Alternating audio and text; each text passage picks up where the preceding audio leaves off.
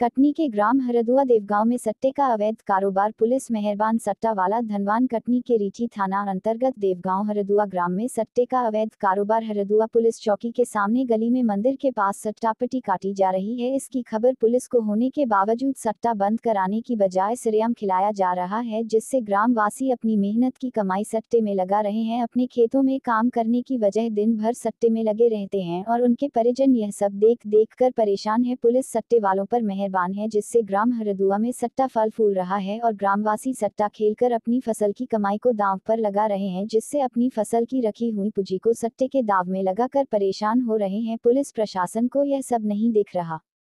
कटनी से प्रवीण कुमार पाराशर की रिपोर्ट। नहीं है।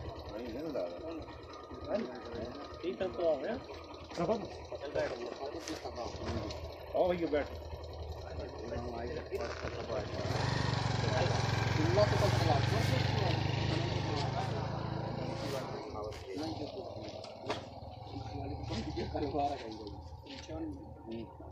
जब हमारी ज़रूरत है